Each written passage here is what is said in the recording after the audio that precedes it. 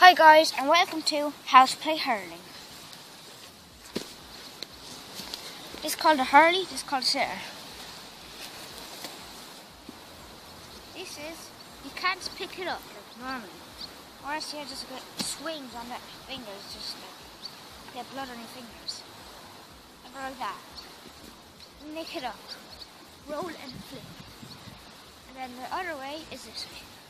Like that do faster and faster and faster.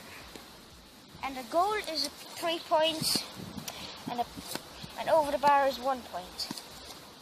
So, yeah, I run with the ball. No, no.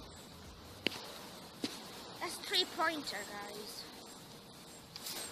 That's three points. I go with three points. Yeah, this is what I call a point. I'll do the other way around, right?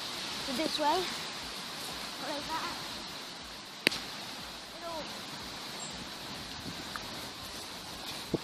That's a point. So yeah, that's the end of this video. Don't forget to smash the like button and subscribe and see ya.